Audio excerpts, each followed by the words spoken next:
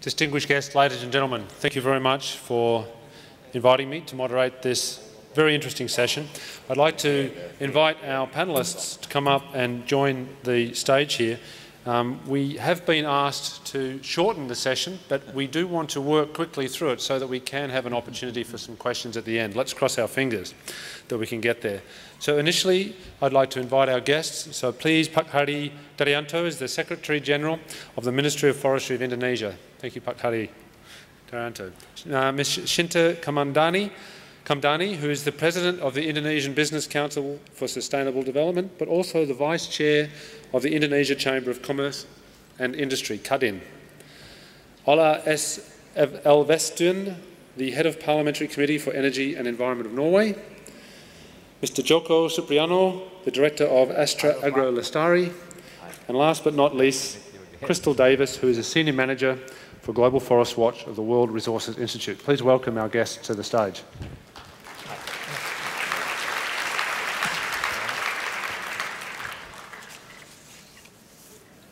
So just to get, get us started, um, a big theme of the Forest Asia Summit is the landscape approach. And we're going to focus on that and it's very interesting for me. Um, there's many people and stakeholders in the landscapes, and so it's beholden on us to be able to collaborate with each other. And that is the important topic of, of our session here today. Um, and for me, it's, it's important to understand that if we're going to solve the problems that exist in these various landscapes across the world, but particularly here in Southeast Asia, we need to be able to work together. And, and for that, we have to be able to collaborate with each other. And this is not easy or straightforward, given some of the history of conflict that exists between people when it comes to questions of land. We have a long history, I think, of conflict between communities and companies, uh, with NGOs, and also with governments. Yet, getting over this past, this past history, is going to be fundamental for us moving forward. And I think in the recent few years, we've seen some absolutely terrific examples of this, particularly here in Indonesia. We've seen Golden Agri Resources, the palm oil company, working closely with communities, NGOs, and the government of Indonesia. We've seen recently Asia Pulp and Paper doing likewise, a long history of conflict with NGOs and, and, and communities, making new policy commitments to work with the stakeholders in their, in their business. We've recently seen Wilmar and, and most excitingly, just last week, APP itself made a new announcement to go and talk about restoring a million hectares and conserving a million hectares of land through a multi-stakeholder approach. So indeed, I would say that this whole no deforestation push is something that started here in Indonesia. And given that Indonesia has long been a country, when you come to these meetings, people talk about uh, climate change, the next thing they say is Indonesia, and the next thing they say is deforestation. I think this is absolutely terrific and exciting that, that Indonesia is a place where this strong push for no deforestation is coming. And I think that Indonesia can be very proud of that, and it's a very positive aspect that brand Indonesia is progressively delinking itself from this whole question of deforestation. And yet the future is not yet secured for our forests here in Indonesia or elsewhere. And there's much more to do before we can truly say that we've solved the problem of deforestation in the landscape. And key to this will be the collaboration between multiple stakeholders. And this session has been designed by, by the organisers to start drawing on the experience of our very uh, knowledgeable and experienced panel to share some of their experiences through their work on how they've resolved um, complex situations, complex challenges by working with multiple stakeholders. So we're going to get down to the uh, nitty gritty of the discussion. And for me, um, first, I'm going to ask each panellist to, to start sharing their own experience, but central questions that I hope we can address during the panel is the challenges that they've each faced in their work with multiple stakeholders. What, are their, what challenges have they experienced to bring multiple stakeholders together? It's not always easy or straightforward, as I said, when there's a long history of conflict.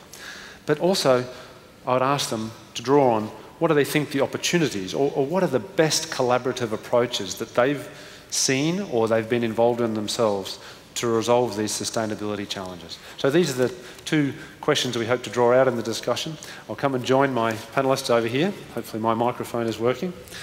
And, and I'd like to invite Pak Hadi Daryanto first, please, to share with us your experiences, uh, Pak Hadi, of, of a collaborative approach that uh, you've, you've had experience with. Thank you, Pak Scott. Uh, if we are talking about multi-stakeholder processes, uh, in Indonesia we have many experience. Uh, amongst other is about when we are setting a timber licensing assurance system. It is a really takes time to discuss, but I would like to share here how we finally have some legality timber standard in Indonesia through multi-stakeholder process. First, uh, it began the dialogue on 2003, which the stakeholder government has the mandate. If we have a round table like this, and in front of the government is the businessman who has the uh, who to operate the mandate from legal what we have. In the other set we have uh, the North country and in other in, in my left hand as we can civil society and NGOs. The role of the the principle of the dialogue is a partnership. A word of partnership partnership in 2003 is very famous with uh, three principles that mutual, first is mutual recognize, recognition, mutual respect, and mutual benefit. And the stakeholder processes, or the actor, I would like to say, have not be an individual, but as a representative of institution. Why? Because if individual come in the dialogue, we cannot uh, have some warranty what they are talking. And the first dialogue, I will make it separately within government institution, local people, business people. Why? If we make in the same room, they will blame each other. So, for example, in the in the depart, uh, in a government institutional, they will talking about, for example, people from Ministry of Agriculture, Forestry, Mining, Home of where they will talking about their system, their law, their regulation. It is not enough one or three times discussion. And for the businessmen, I'm not bring them in the room of officer, but I bring those people in the restaurant. Why? Because if they are talking in the restaurant, they will say about anything, positive or negative. They will blame the government people or the but it is really, they can say what they do as business. And for the local people, I asked a local NGO with their mother language. And finally, if they already agree amongst uh, the stake, then we bring in the same room, same room and discuss. In terms of legality timber, with the uh, FLEGT criteria, we have to to define the legality definition. And then it is also not easy. And then about the institutional who will give the licensee and the independent institutional will evaluate and accreditation.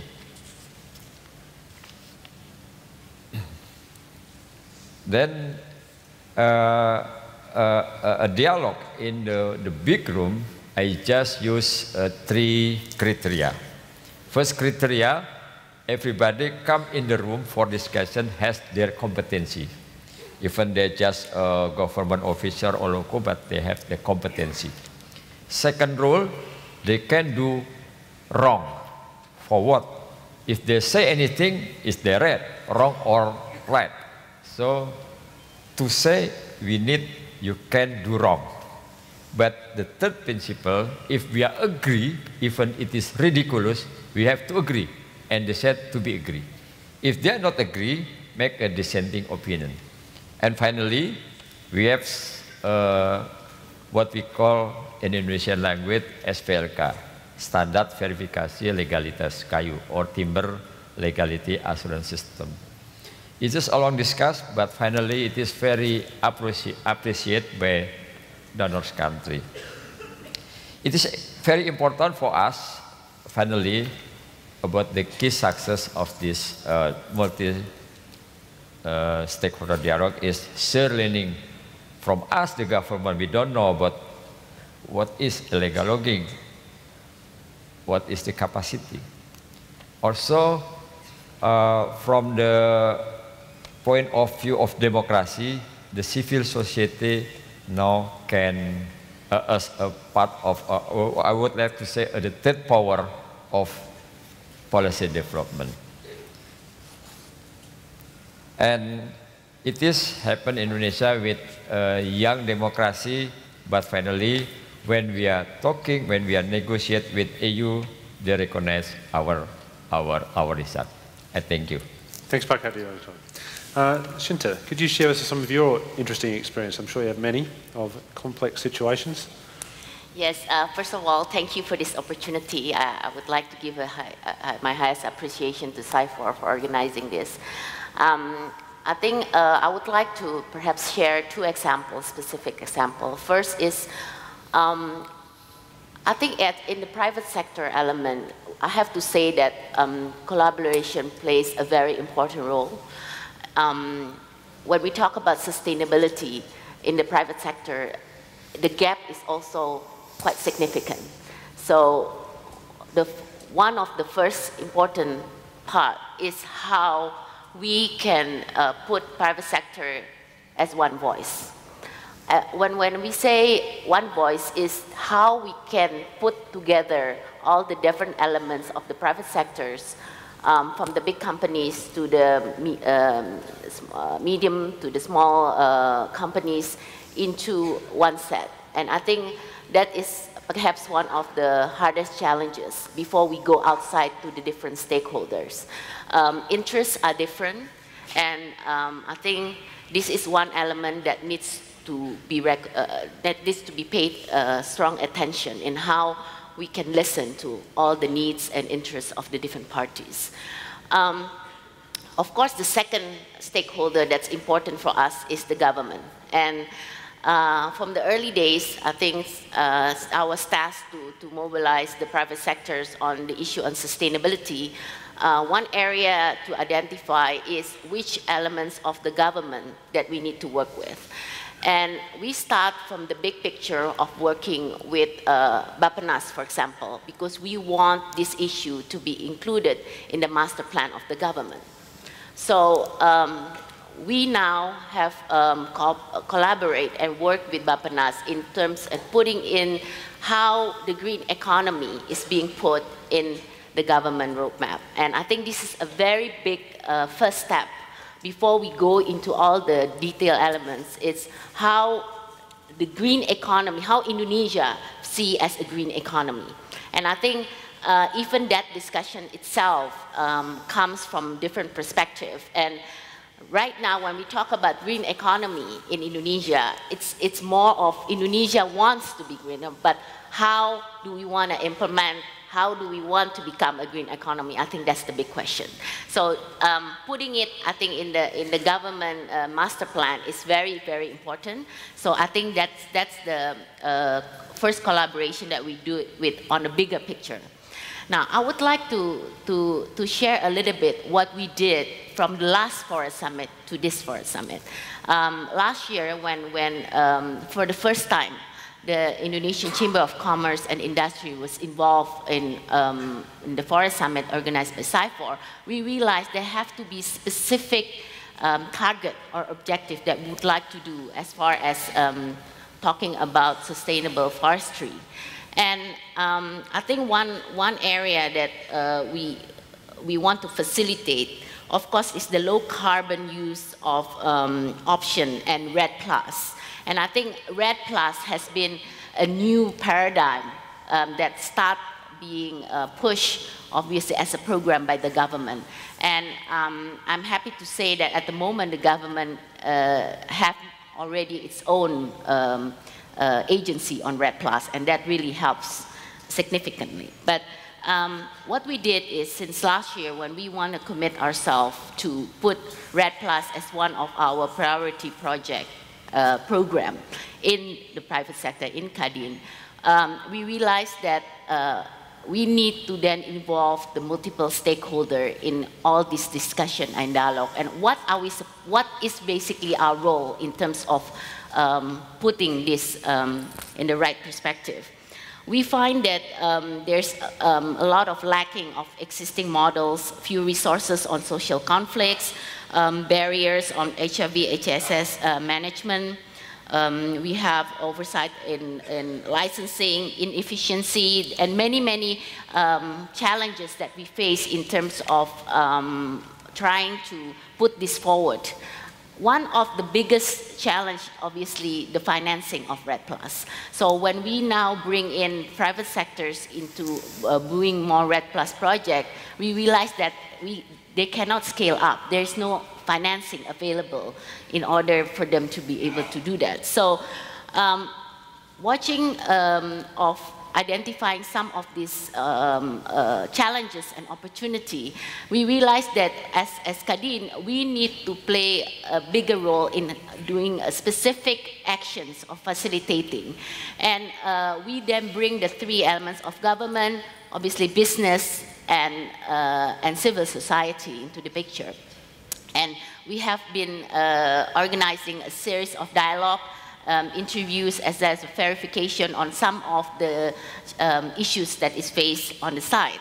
Now, what we come up with is uh, we ask ourselves, how can we add value on this specific issue?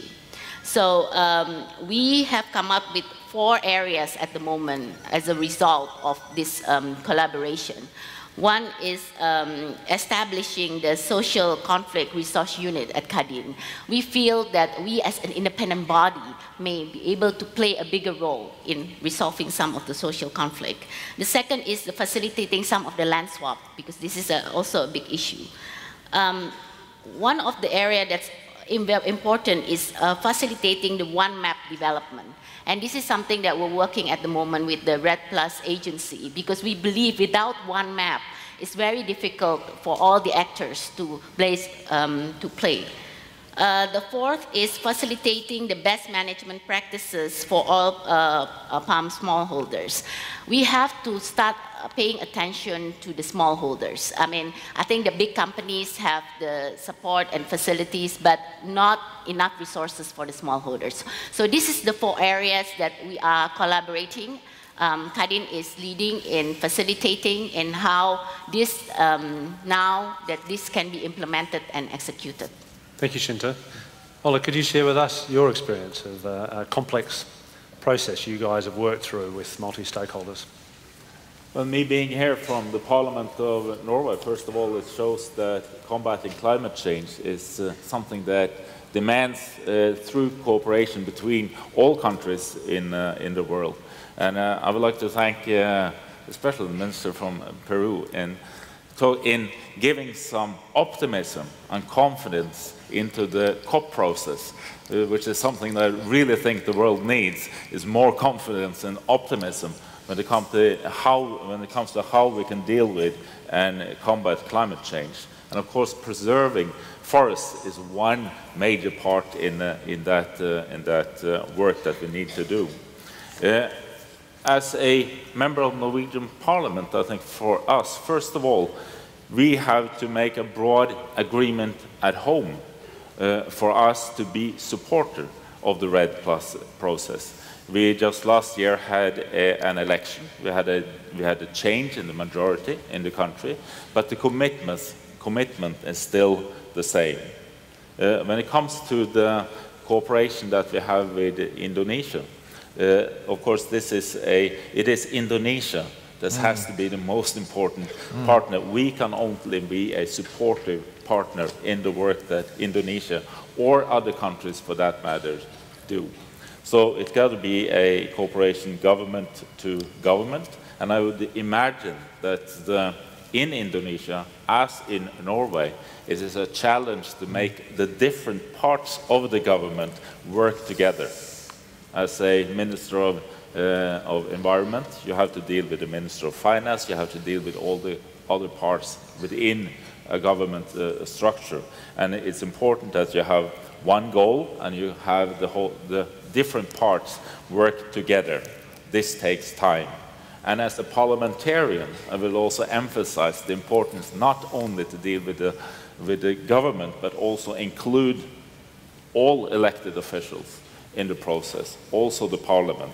I would imagine that is also mm. something that is important also here in, in Indonesia.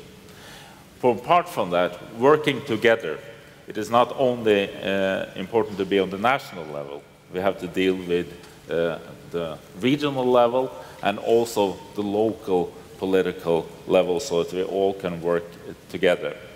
Uh, and of course, as it was emphasized, we have to, we have to bring in the business community. I mean, you have to, in, mm-hmm. when we manage the forests, I think it was a good idea with forest development goals. I think that is something that is necessary to work with uh, in the, into the future so that you can have something in common in different countries that we, will, that we can work with. But of course, when we, it, this is not about just, um, uh, it, this is not about preserving forests. What it is about is to have development at the same time as we manage and preserve the forest. So of course to create incentives for industry to be a partner in that process is what is really, really important. And, and for Norway's part, what we can be a partner in, we have, we have to work with incentives, but you need to work with, uh, have, you need research, we need to develop together the legal framework so that you get the right incentives for the business community, so that you get the right incentive for the local uh, communities to preserve and have an interest in preserving the forest. So I think this is a, it's a huge undertaking. It's a huge task that the world in common has. And you need all the stakeholders from the local community all the way up to the national and international level to work together to make this uh, happen. And I think the most important is only to have a understanding that yes, it's a, it's a lot we have to do, but it's definitely possible. It can be done if we work uh, together, and the alternative is not acceptable. This is something that we have to make all together. Excellent. Thanks very much. Okay, so Pak Joko, your experience as a private sector company here in Indonesia. What's your experience with working with NGOs, communities, governments uh, to, to take your business operations forward? Uh, yes, thank you, Mr. Poynton. And uh, also, I would like to thanks uh, to CIFOR for inviting us to join in the uh, panel discussion. Uh, yes, talking about the palm oil, is, palm oil is everything for Indonesia, I think. Yeah, everything in it. Uh, Indonesia is a, a, biggest producer, also exporter of the palm oil, in the world. and uh, this uh, valued around uh, 20 billion dollar US per year. It is the biggest uh, non-oil export earning for Indonesia. It's very, very significant. And also don't forget this, uh, Indonesian palm oil is also about uh, 4. 4.5 million uh, family uh, working and also uh, be a farmer of the oil palm plantation. So uh, this industry is, uh, has a significant role for Indonesian economy.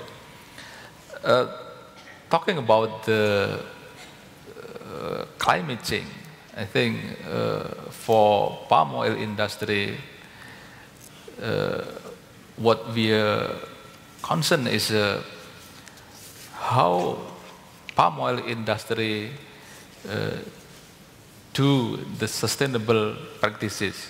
I think this is the only way how the palm oil is uh, participate or contribute to the uh, climate change mitigation and adaptation as a biggest uh, producer of the palm oil, Indonesia, I think is now we are on the way. We are on the way to to achieve to reach the sustainability practices. Uh, why?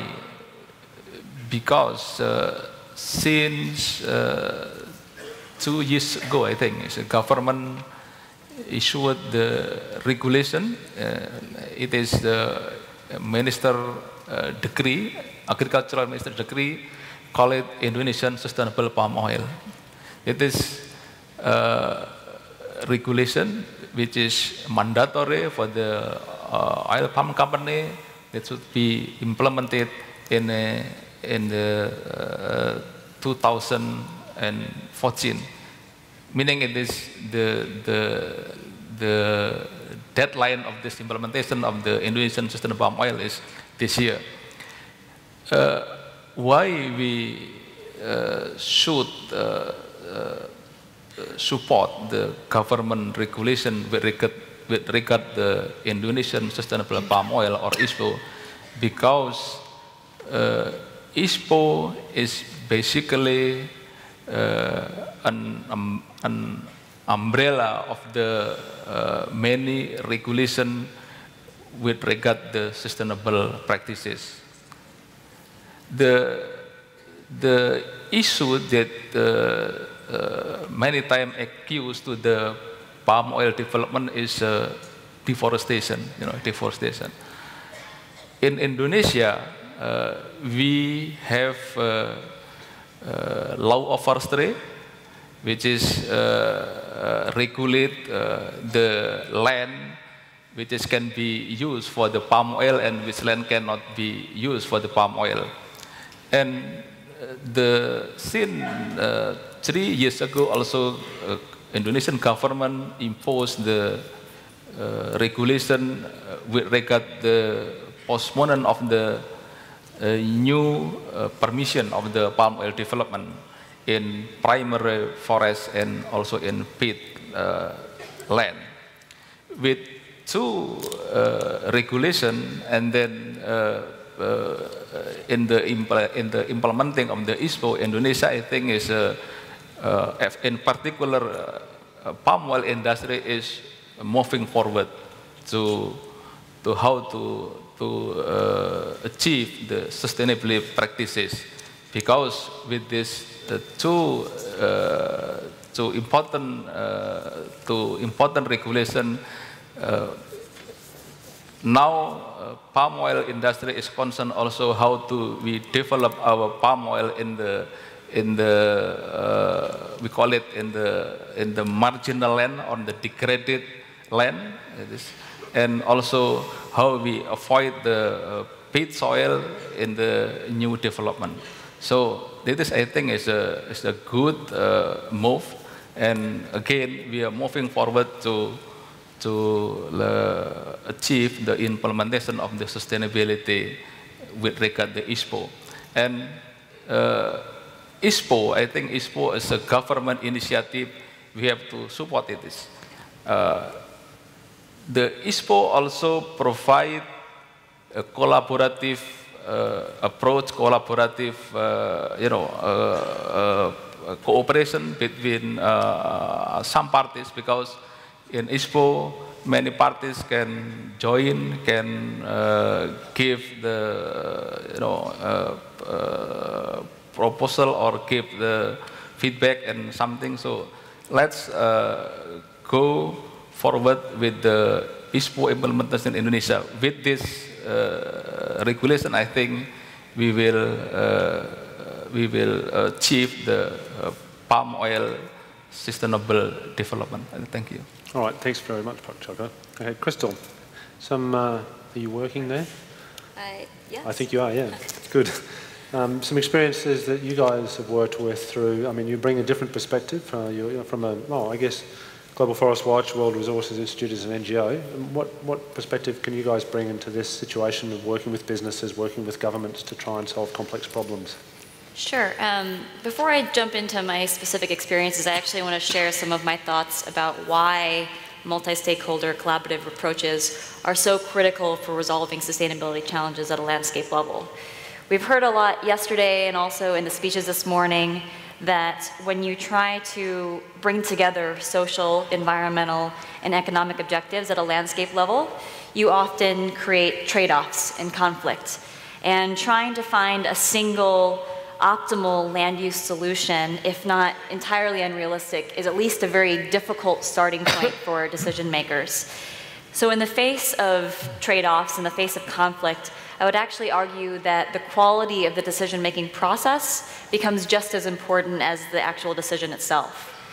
But at the same time, we've all learned that a good multi-stakeholder process, one that is inclusive, that's fairly negotiated, that's iterative and adaptive, that's based off of transparent and equal access information, is something that requires a lot of patience. Uh, there are no shortcuts, not at least that I've been able to identify. Uh, so I think it's very important for us to recognize this and commit to being willing to invest the time and the resources that a good process requires in everything that we do. Um, and now to, to speak a little bit to specific examples from my experience uh, on Global Forest Watch.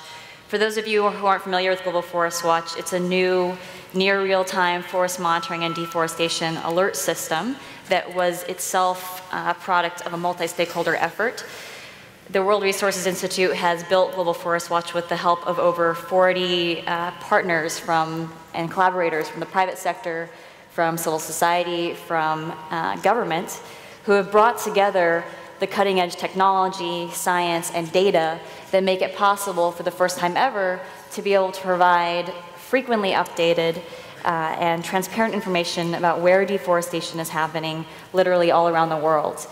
Uh, and, but simply providing data is not our end objective. We see open data as a very important means to empowering and building trust between different stakeholders.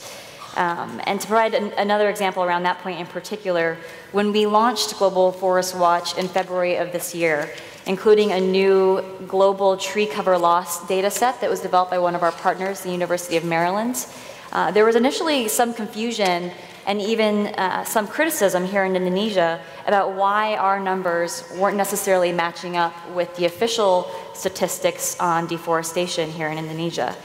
And I would actually like to frame this situation as an opportunity rather than just a problem. Um, when different stakeholders tend to come to the table with different values in terms of what the best scientific approach is and how you define terms like forests and deforestation. Uh, but I actually think that there is a lot that can be learned through a very transparent process to compare different data sets and their underlying methodologies, to have an open dialogue about what you agree about and disagree about what those data sets are telling you, and then ultimately figuring out what these data sets are telling us about how forest landscapes in Indonesia need to be managed. And in fact, I think this is the same type of process that has underlied the uh, One Map initiative here in, in, Indonesia, which is why I think it's been such a successful effort so far. So just, just to conclude, um, I think the main point I'm trying to make here today is that in, in the context of a landscape approach, I think it's just important to focus on the process as well as the outcomes. Um, and in particular, this process of trying to reconcile conflict can be an especially valuable one, um, but only when it is truly open and transparent and involving uh, multiple stakeholders. Excellent, thanks very much. Well, um, I'm mindful of the time and we are really required to wrap this up in about the next 15 minutes, I think, given the session was a little bit shortened. So what I'm going to do is just sort of go through some of the key points that the speakers have made. We asked initially when we started to talk about challenges and opportunities um, and then to think about what the best approaches could be. And I think all of the speakers have touched on those points as they've gone through their, their presentations. So I'm going to just quickly go through some of those and, and then we'll open it up to the floor for some questions. So if everyone's got the microphones ready, we'll get some questions in a second. Um, right, starting through the discussions, we heard this talk about mutual respect and mutual benefit. I think that came out very early. And I think um, one of the other uh, in interesting points that came out, this is about the best approaches, I think, uh, was a safe environment, providing people with a safe environment in which to speak. Uh, Hadi spoke about taking the businesses to the restaurant. I think that's a yeah. great idea. Very you know, important. Give very people important. a place to where they feel comfortable to speak, and I think that, uh, that that's very true. And uh, making sure that everyone in the room is competent and able to speak and, and, and lead. And I think that was, th these are great points. And I always say one of my, I do a lot of uh, sort of discussion between conflicting parties myself. And I always say it's amazing what you can achieve when you sit people down together. When people come together and actually have a chat, it's amazing what you can achieve. And I think uh, Hadi made the point that he said, when we talk together, we can achieve many things. And I think that's very true. Um, Shinta started talking about the importance of being aligned, getting people aligned, um, making sure that the, the small, medium size, the large businesses are all aligned in what you've got to say. And I, I can understand very important when you're going into a dialogue that everyone's uh, in going in the same direction. And I think that's right. The other point was who to speak to. Who should you have a dialogue with?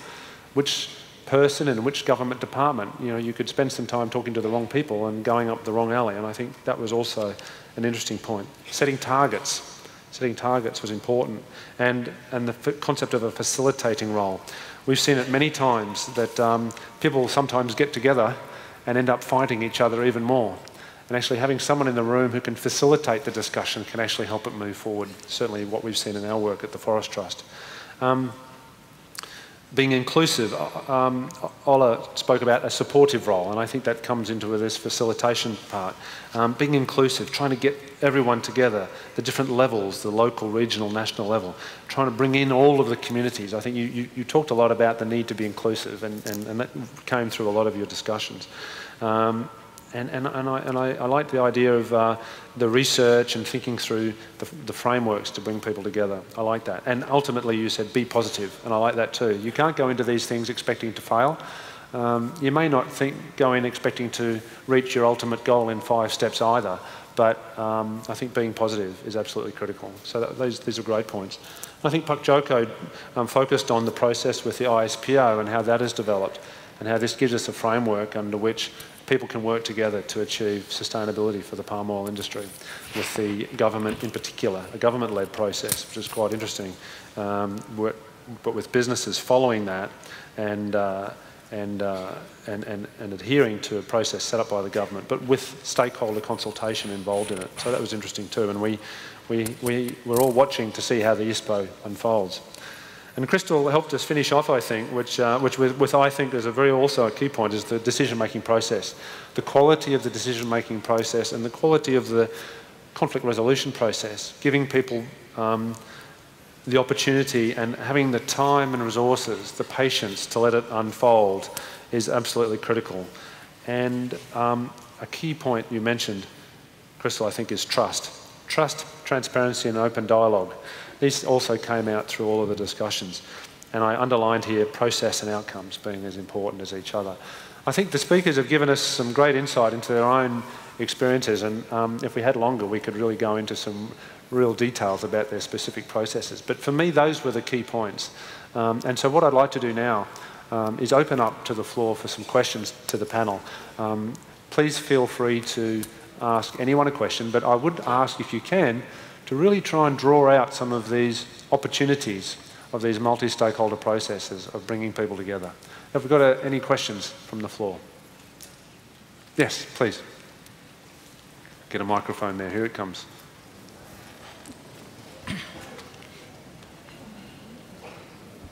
Uh, thank you. Uh, my name is Zainuddin from Jepara. Uh, I am the Vice President of the Small Scale Furniture Producer and this is the first time for me to join in the Forest Summit uh, Asia.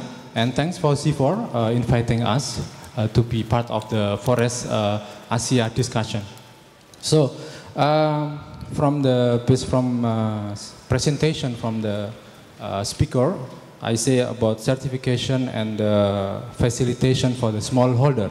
So we are the smallholder now, and I have a big question about what is the benefit for the smallholder uh, if we uh, implementing the SVLK or uh, uh, care aware about the forest forestry. Because uh, you know that our position now at Jepara is uh, a smallholder maybe I have a question to myself what what what food we eat for tomorrow? But maybe you here you have a question what what type, what kind of food uh, of you will eat for tomorrow. Because we have a problem, uh, even we have uh, implement now, we as the small scale furniture producer, we have uh, certified, but it's thanks for, for the ministry because we have fund uh, so we can have uh, certified uh, SVLK. But the, the most uh, important thing is uh, we must do the action. No, we have action. We do action to, uh, to implement, to, to access the certified product, but what is your action? We are waiting your action to buy our certified. So we, you contribute to the uh, conservation of the forestry. And you know that uh, it will be a special treatment to Jepara people because uh, Jepara consume around 1 million uh, meter cube of wood and it's uh, the many people maybe around 5 million people is depend on the wooden industry. So I think uh, I wait your action to buy the certified product. Thank you. Thanks. So perhaps I think the key question there for me in terms of the, the, the, the uh, session is what benefits do people get from being involved? And it's a question for smallholders and sure not just in the wood industry but in the palm oil industry as well. So we've, we've got little time but just rather than giving us the benefits of SVLK, perhaps Pak Hadi and then Pak Joko can just share with us your thoughts about what is the benefit from being involved in a multi-stakeholder process? What, just concisely. Yes, yes, it's a good, a good question. The benefit is the smallholder furniture have the access market to the EU.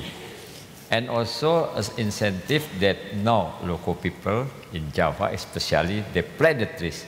And the government not do any intervention no, no needs the letter of uh, legality if they come from the plantation in their homeland. As you saw now, in Indonesia, especially in Java, the forest is increased uh, fantastic. Then it is what we know. Of course, the question, how about the market? It is a good question to the European countries. Please buy it but of course we know, know in the recession economy. To do so, we do together with some uh, of friend of, uh, let's say, EU and UK, now provide some, with the state budget, provide some budget for facilitating or certified of the, the, the, the small to have this certification. It is the answer. So I think that what you're saying is uh, just setting up the SVLK, setting up the certification mm. is, is maybe not the final result. You've got to go further and talk to more stakeholders, talk to the EU, bring those guys involved. So these processes never end, I think, is perhaps what the conclusion is. You've got to keep working on making these processes work. Um, that there's never any end goal in the whole process. You've got to keep talking. But Joko, we'll just pause for a second because I'm mindful that we've got about five minutes. Have we got another question that we can bring from the floor, particularly about the process of um, working through difficult situations. There's one way up the back there. There you go. Yes? Yep. Thank you. My name is Susanna Kroger from Greenpeace, and I had a question for the gentleman from Astro Agolestari. Uh, in your answer about collaborative approaches, you um, expanded on ISPO. Well, that's um, a system to meet legal compliance. So my question to you is how do you perceive the other initiatives from other key palm oil producers who are engaging in collaborative approaches with NGOs and other stakeholders to implement and meet no deforestation commitments? Yes. Uh, uh, again, uh, ISPO is a government initiative, but uh, in the development of the ISPO, uh, all parties is involved. It is government itself and then uh, private company, uh, smallholder and also NGO. Yeah. But uh, I, I'm not sure which NGO that is involved or include in the process. Uh, this kind of process is basically continuing. And again, the, the process of the ISPO development is now is just in the first step. Uh, uh, you know, we basically the, our target is uh, to develop in the entire of the palm oil supply chain. But unfortunately, currently is just the first step, which the principle and criteria is uh, applied for the company. We are now developing for the other criteria for the smallholder. Uh, this uh, kind of the principal criteria in uh, in ISPO, uh, as, as I mentioned before, that is all regulation in Indonesia because uh, the ISPO is basically regulation based. So all the regulation uh, applied in Indonesia now we put in the ISPO together. Like uh, uh, just also just uh, uh, I said, said before that is like uh, moratorium regulation is also one of the reference of the ISPO criteria. So with this criteria, meaning that this palm oil company cannot uh, get the new permit uh, in the land which is uh, uh in the form of the primary forest. You, you never, you never uh, uh, got the permission from the primary forest. Also, you never got the permit from the peat soil. So, the important thing is how the law enforcement or how to strengthening the implementation of ISPO. And, and it's also uh, the law, law enforcement of the uh, implementation of ISPO because with the strong implementation, including of course the law enforcement is I think is uh, uh, the the violation of the legal principle in particular, we regard the deforestation and also uh, peat is, I think, is uh, can be done through strong implementation. So, uh, initiative, yes, but I think the most important thing is how we we support and uh, strong implementation is needed for all parties. Wonderful. I think we've got time for one quick question, and let's not make it about ISPO. Has anyone got another question there about uh, process. Uh, there's one down the front there. Thank you. Just down the front here, please, for a microphone. Here it comes. Yep. Yep. Here. Here, here, down the front. Yes. Oh. Thank you. We have to be quick. Everyone's waiting for a cup of coffee. Thank you. The Suchitra Jantakun from Department of National Park and Wildlife Conservation Thailand. As I heard from the Minister of the Peru and the Minister of Norway mentioned about forest development goal is very innovative area, innovative idea. I would like to know what your perspective of the Minister of Norway, how the key process to achieve that goal, and do you think how, how long it will take you expected? Thank you. Thank you. You've got two seconds. I don't know if I can answer that. As I said, the first development goals, I think it's a, it's a good idea. And I think it's, uh, from, as the minister from Peru said, I think it's when, when you, we need to energize the COP process. I mean, there's, so many, there's been so many negative views and negative news when it comes to the achievements have been made, but when we now go to Peru and we get back into in Paris, we need to get that final national international agreement. Whether it is strong enough or not, you need an international agreement. And I think forestry has to be one central part of this. And as we work with the sustainable development goals, as you have uh, the, the thousand year goals and millennial goals, they have had an impact. Sustainable development goals will also be able to have an income, impact. I think it's right that we work from the bottom up more than you just have to, uh, we cannot expect that one major international agreement is enough. Everyone has to do their part, you have to work from the bottom up. And if you have some common criteria, also within forestry, that is something that will help, uh, also with the collaboration and the cooperation countries in between, and also that we talk about the same thing in different countries that you talk about the same thing, have the same goals on different levels also of uh, government. So I think it's, a, it's one part that is a, something that I liked and it's something that I will bring with me to Norway. It's something that we can work with in more in detail.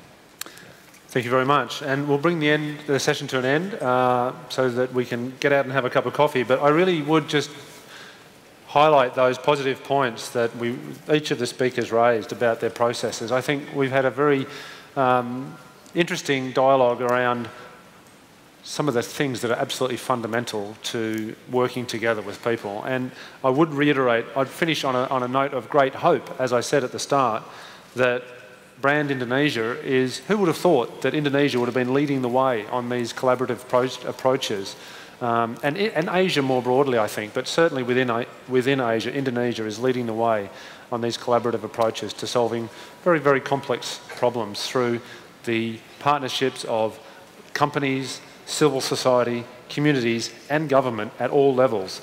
And, and I, I, hope that the Indonesian experience can be shared, and obviously with, uh, with uh, the role that Norway is playing broadly in the global effort on deforestation. Um, it's great to have you here too um, Global Forest Watch, our eyes now on the forest, which is very valuable. Uh, all of these processes are going to help us. So I, I, I conclude with great hope that uh, the experiences that we're learning here in Indonesia around collaborating together with other governments, with all sections of society, are very positive and leave us with great hope for the forests. So enjoy your coffee and thank you very much. Thank you.